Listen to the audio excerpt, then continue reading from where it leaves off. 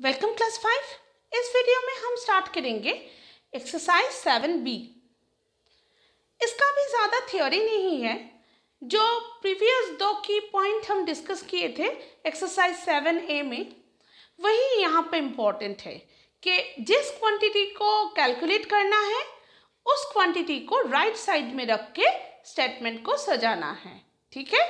और हमेशा वन को निकल के फिर जो रिक्वर्ड क्वांटिटी है, उसको निकलना पड़ेगा। ठीक है? पहले वन को निकालो, फिर रिक्वर्ड क्वांटिटी को निकालो। ठीक है? देखो, sum number one.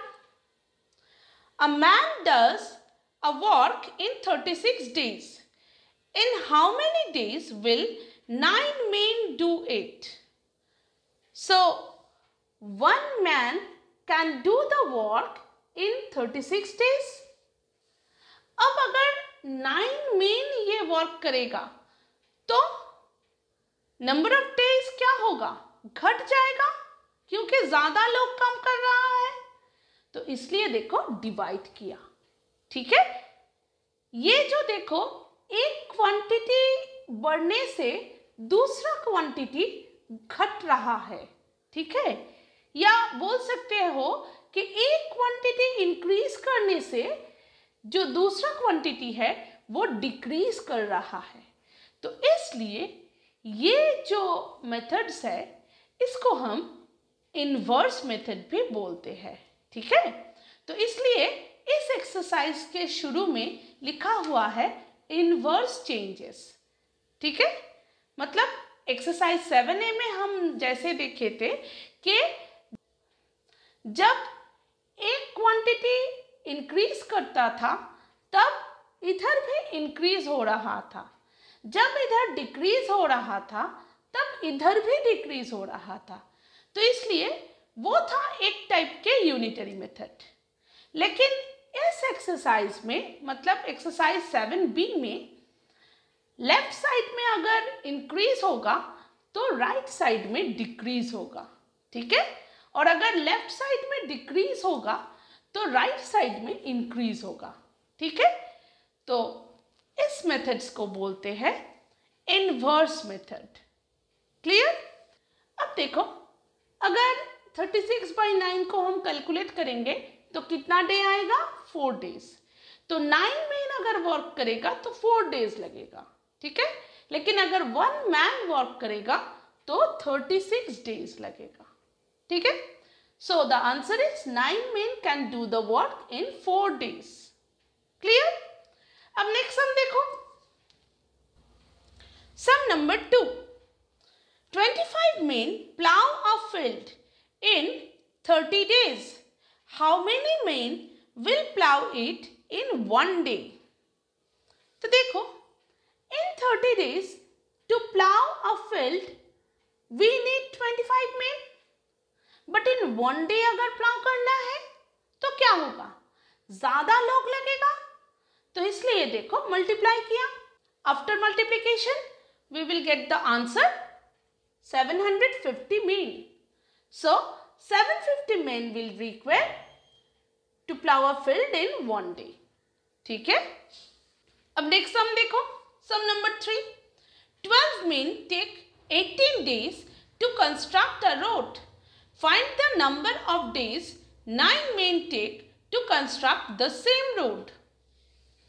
तो देखो 12 men to construct a road takes 18 days. अगर 12 लोग काम करेगा तो 18 डेज़ लगेगा अगर वन मैन काम करेगा तो क्या होगा नंबर ऑफ़ डेज़ ज़्यादा लगेगा क्योंकि अकेले कर रहा है तो इसलिए मल्टीप्लाई हुआ और अगर नाइन मेन काम करेगा तो क्या होगा? वन से कम लगेगा टाइम तो इसलिए यहाँ पे डिवाइड हुआ। ठीक है? अब कैलकुलेशन करो तो आया twenty four days so nine men take twenty four days to construct the road ठीक है? अब नेक्स्ट सम देखो। Sum number four forty eight men are employed to construct a building in 75 days.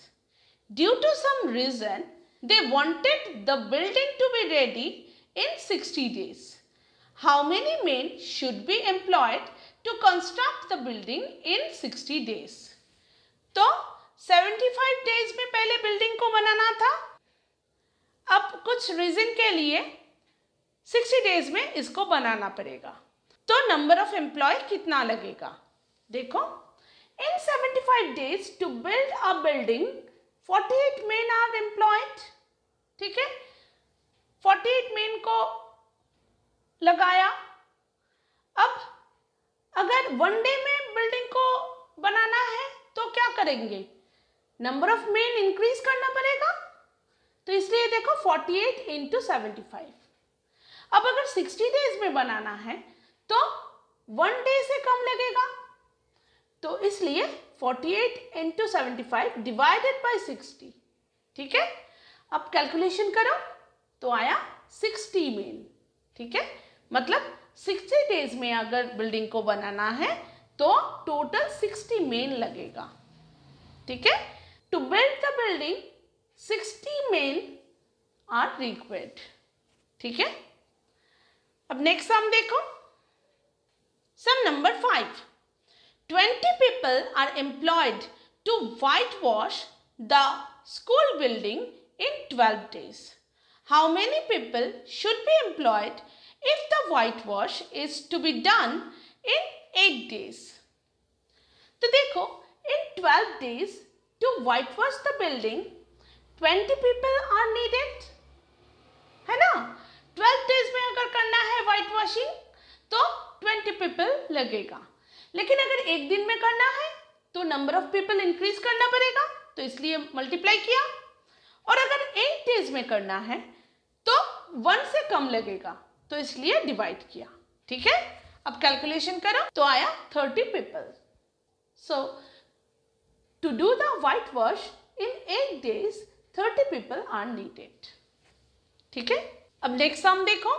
Sum number six a tap can fill up a tank in twenty minutes how many minutes will ten tap take to fill up the same tank बहुत easy है.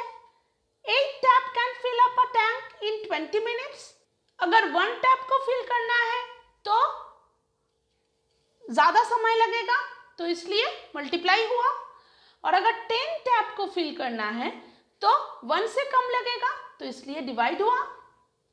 अब calculation करो तो आया 16 minutes so 10 taps can fill up the tank in 16 minutes अब next हम देखो.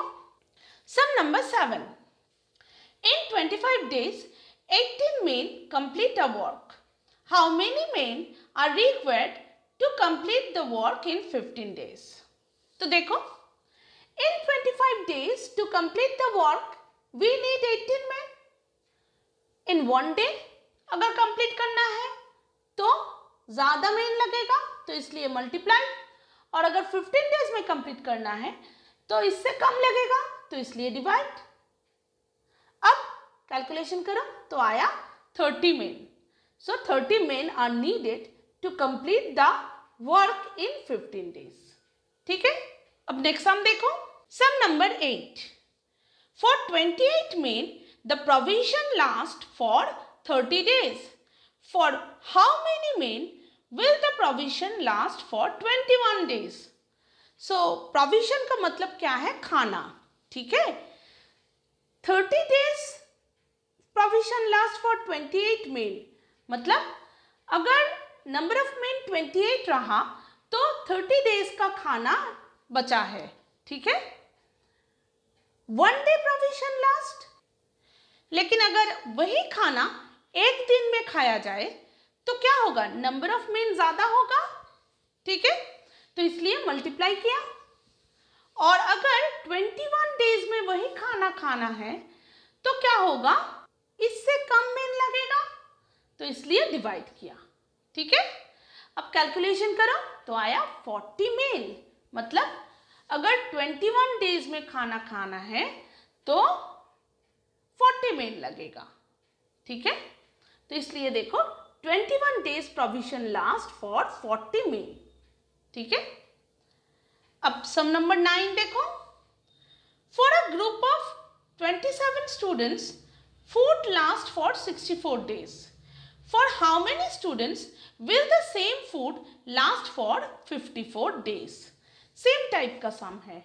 देखो food last for 64 days for a group of 27 student है ना? 64 डेज़ का खाना कितने स्टूडेंट्स का है? 27 स्टूडेंट्स का है।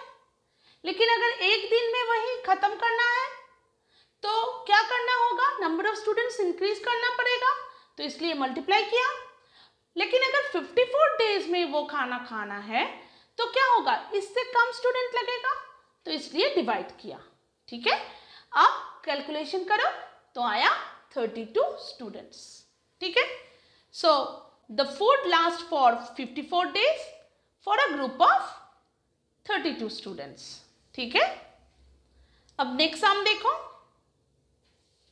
Sum number 10 if 45 cows can grass a field in 18 days how many days will 30 cows take to grass on the same field so, देखो 45 cows can graze a field in 18 days.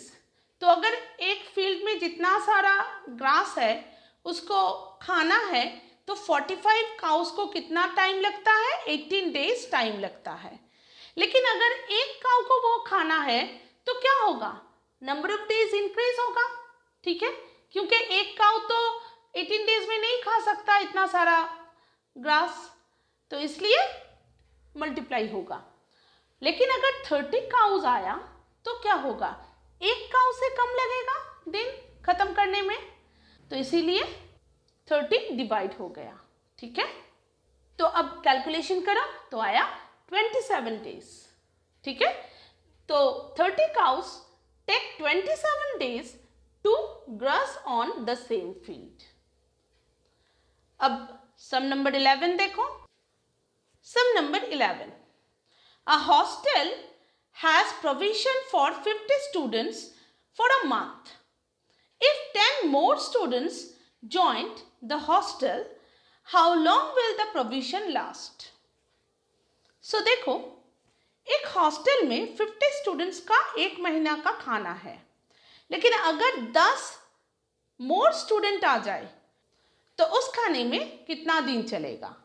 ठीक है? देखो one month equal to thirty days ये तो पहले लिखना है। अब देखो hostel has provision for fifty student now ten more students has joined the hostel so total number of students कितना हुआ? Fifty plus ten equal to sixty students अब देखो for fifty students provision last for thirty days fifty student का thirty days का खाना है तो one student अगर वही खाना खाएगा तो नंबर ऑफ़ डेज़ इंक्रीज होगा तो इसलिए मल्टीप्लाई किया। और अगर 60 स्टूडेंट को वही खाना खाना है तो वन स्टूडेंट से कम लगेगा डे तो इसलिए thirty into fifty divided by sixty हुआ। ठीक है? अब कैलकुलेट करो तो आया twenty five days for sixty students provision last for twenty five days ठीक है? तो अगर 10 मोर स्टूडेंट आ जाए तो 25 डेज़ में वो खाना खत्म होगा। ठीक है? अब सम नंबर 12 देखो। 112 men can build a railway tunnel in 72 days how many more men will be required to build the tunnel in 48 days अब देखो। In 72 days to build a tunnel 112 men are needed. अगर 72 days में tunnel को बनाना है तो 112 main लगेगा।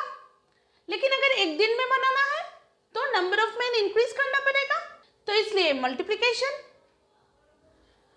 और अगर 48 डेज़ में बनाना है तो वन से कम लगेगा। तो इसलिए डिवाइड कर दिया। ठीक है? अब कैलकुलेशन करो तो आया 168 मेन तो देखो एक्स्ट्रा मेन कितना लगेगा? पहले 112 था। अब देख रहे हैं कि अगर 48 डेज़ में बनाना है तो टोटल 168 मेन लगेगा। तो एक्स्ट्रा कितना लगेगा मेन 168 माइनस वन मतलब 56 मेन एक्स्ट्रा लगेगा। ठीक है? पहले 112 था, अब और 56 अगर ऐड करेंगे तो 168 हो जाएगा। ठीक है? तो इसलिए 56 मोर मेन आर नीडेड ठीक है? तो यहाँ पे ये एक्सरसाइज खत्म होता है। नेक्स्ट वीडियो में नेक्स्ट चैप्टर स्टार्ट करेंगे। बाय